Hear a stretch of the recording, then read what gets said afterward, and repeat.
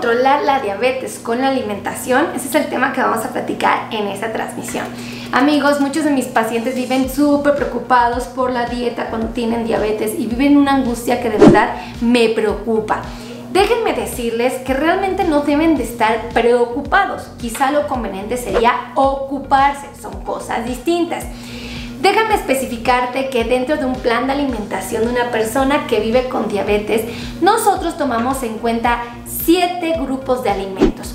Normalmente a nuestros pacientes les sugerimos comer de manera muy respetuosa y adecuada a los vegetales, porque los vegetales tienen mucha fibra y es el elemento que los puede ayudar a lentificar la absorción de los carbohidratos en su cuerpo y por lo tanto controlar los niveles de glucosa.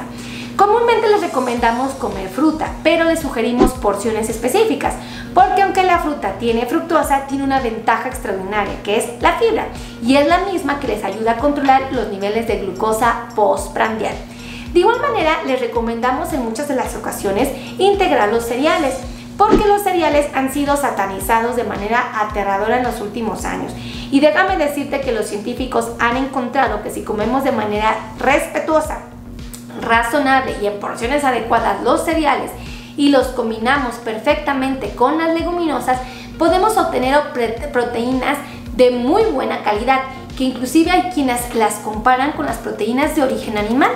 Ahora, déjame decirte que las leguminosas tales como los frijoles, las lentejas, los garbanzos y las habas, son muy nutritivas. Y si tú respetas la porción indicada, las puedes comer sin miedo, no debes de tenerles pánico, realmente son muy nutritivas porque aparte de que te ofrecen carbohidratos, te ofrecen fibra y por supuesto proteína, alimentos que realmente queremos siempre integrar a nuestras dietas y que nos ayudan mucho a sentirnos satisfechos. Ahora, debes de saber que existe otro grupo que también recomendamos que consuman nuestros pacientes, que vienen siendo los alimentos de origen animal. Específicamente alimentos como el pollo, el pescado, la res, el cerdo, el borrego y quesos. Déjame decirte que este grupo es muy valioso porque te ofrece proteínas, grasas saturadas y poliinsaturadas, te ofrece grasas eh, esenciales tales como el omega 3, el omega 6, te ofrecen hierro de alta absorción, zinc y vitaminas tales como la vitamina B1, B6 y B12. Finalmente, este grupo de alimentos es maravilloso porque propiamente no integra carbohidratos y por lo tanto te puede generar, generar saciedad porque tiene muchas proteínas. Y ahora déjame platicarte que existe otro alimento que debes de tomar en cuenta, otro grupo de alimentos que a mí en lo personal me encantan, que vienen siendo los lácteos. Los lácteos también se pueden integrar a tu dieta, pero de igual manera tienes que respetar las porciones.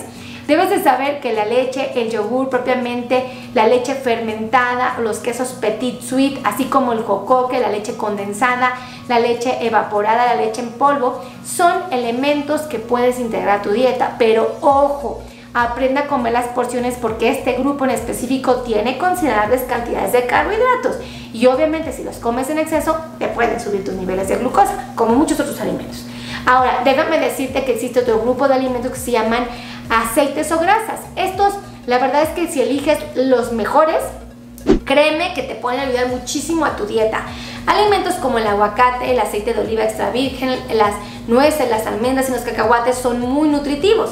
Obviamente no te puedo recomendar la mayonesa, la mantequilla, ni mucho menos la manteca, porque obvio estos sí no son la mejor opción.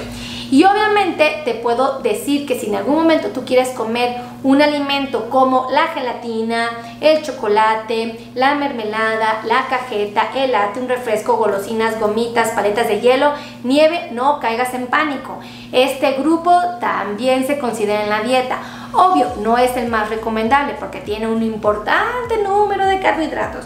Pero si por alguna razón quisieras comerlo, sí es recomendable que tu nutriólogo te enseñe a comer las porciones para que justo no te vayas a exceder y ahora sí vayas a disparar tus niveles de glucosa inocentemente. Si te gustó este video, por favor, comparte, comparte, comparte, comparte, comparte, comparte, comparte, comparte este video. Y de igual manera te quiero pedir que por favor te suscribas a mi canal de YouTube, actives las campanas de notificaciones y me sigas aquí en mis redes sociales.